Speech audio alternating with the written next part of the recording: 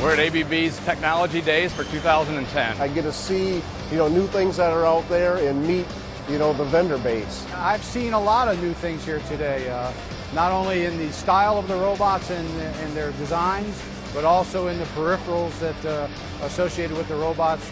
Mostly out of Tech Days, we have the opportunity to come to a plant and see what the new leading edge technology is that's available. I come to Tech Days at ABB to learn what's going on in the latest technologies that we can bring into the marketplace uh, to show customers how to improve their quality, increase cycle times, lower their cost of manufacturing, and sustain our manufacturing here.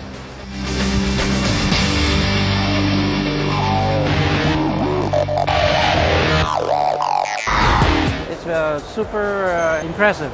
This is an eye-opener. Uh, I see many things that I have not seen before. And the real key to our tool changer is our simple locking mechanism. It's very robust, it's very repeatable, and it has a fail-safe against loss of air pressure. Uh, we're showing a welding cell that actually is a dual process cell, does welding and cutting. Robots for a slightly different task than, than they're used for traditionally. We're using it in this cell for cladding, which is used in the oil field to prevent sour gas problems. So what we have here, it's a, a paint robot, explosion-proof robot, that is able to paint very, very large objects. Behind us is a flexible palletizing system. The gripper is a 10 zone. It can pick up multiple parts from different lines. This one's our simplest type of system. It consists of a pallet dispenser, a robot, and conveyors and tooling. This is my first time here and I had no idea that the technology and, and, and robotics and I, I, grew up in a generation when they were just getting started. Today it's absolutely uh, it's the, you know, I feel like I'm in the 23rd century. Uh, it's, it's really exciting.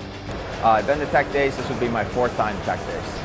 I, I, will recommend people in my company to come with me, and I'd like to take some of my customers. Last year was our first time at Technology Days, and uh, we saw the mix of people, the large crowd that they brought in, and we decided that this year we really need to be a part of it with a cell and support it more so. I would recommend that people attend this event very strongly because it, it gives you a uh, opportunity to see the whole spectrum of uh, what ABB has to offer.